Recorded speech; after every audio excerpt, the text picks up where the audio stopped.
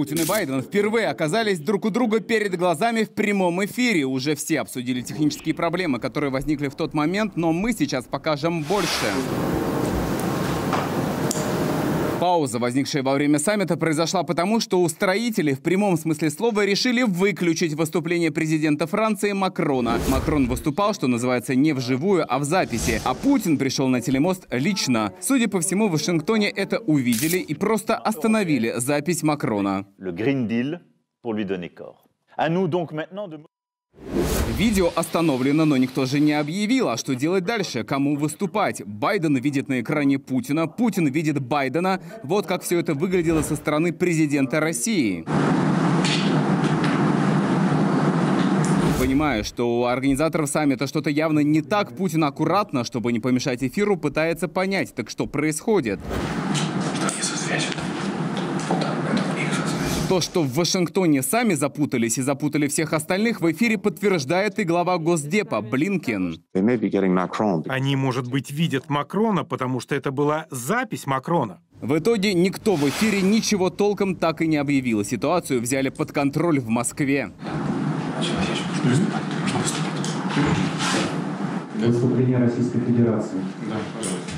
Уважаемый господин президент, Интересная деталь. Конференция проводилась через приложение Zoom. Эта компания объявляла, что больше не будет сотрудничать с госорганами в России. А здесь целый саммит и Кремль на прямой связи. Путин рассказывает о вкладе России в борьбу с изменением климата. Россия в большей степени даже, чем многие другие страны, сократила эти выбросы парникового газа. В два раза. Это стало э, следствием кардинальной перестройки российской промышленности и энергетики, ведущейся в последние 20 лет.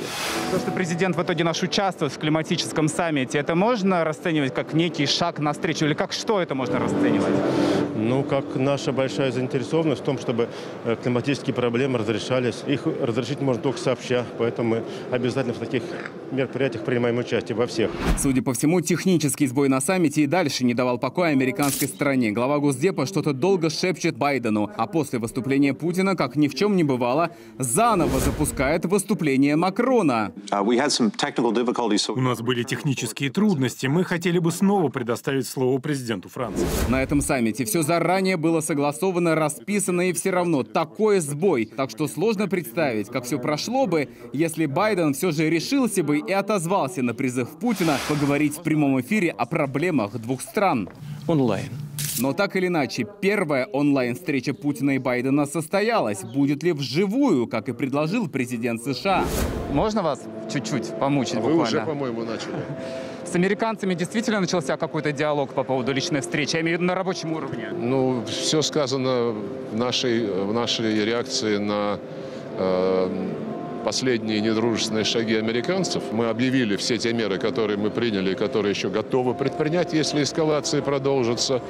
И одновременно по поручению президента я упомянул, что что касается предложения Байдена о проведении саммита, то оно было позитивно воспринято, сейчас оно изучается. С американской стороны есть хоть какие-то сигналы по дипломатической линии, что они действительно хотят провести личную встречу? Ну да, сигналы есть, конечно. То есть сейчас уже идет какое-то обсуждение на вот таком Пока рабочем еще нет, пока еще нет, но сигнал получен, рассмотрим. А вот то, что в итоге... от многих факторов будем принимать решения, конечно. А если встреча случится, то это когда может случиться? Или это вообще не предсказуемо? Нет, называют, называют июнь. Даже есть конкретные даты. Это какие? Ну, я пока не буду о них говорить, но... Ну, июль, да? Июнь. Июнь. Июнь. А острейших вопросов в мире накопилось столько, что о них, конечно же, нужно говорить. Для западных стран стало уже хорошим тоном каждый день обвинять в чем угодно Москву. По любому поводу, а чаще всего вообще без всякого повода, цеплять Россию. Спорт какой-то. Новый вид спорта там. Кто громче что-то скажет. Вокруг них сразу же, как вокруг Шархана, крутятся всякие мелкие табаки. Все как у Киплинга. Подвывают для того, чтобы задобрить своего суверена. Киплинг – великий писатель.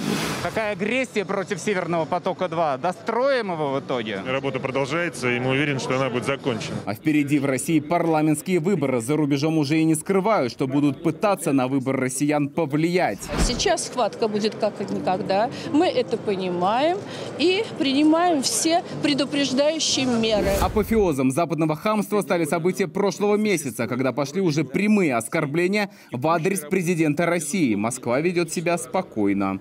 Можно сказать, скромно. Часто вообще не отвечаем не только на недружественные акции, но и на откровенное хамство. Мы действительно не хотим сжигать мосты, но если кто-то воспринимает наши добрые намерения как безразличие или слабость и сам намерен окончательно сжечь или даже взорвать эти мосты, должен знать, что ответ России будет асимметричным, быстрым и жестким. Организаторы любых провокаций, угрожающих коренным интересам нашей безопасности, пожалеют о содеянном так, как давно уже ни о чем не жалели. Но Россия все же надеется, подчеркнул Путин, что никому не придет в голову перейти красную черту.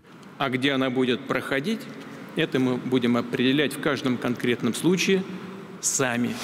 Слышат сигнал те, кому этот сигнал послан по поводу красных линий? Однозначно. Многие лидеры государств сошли с ума.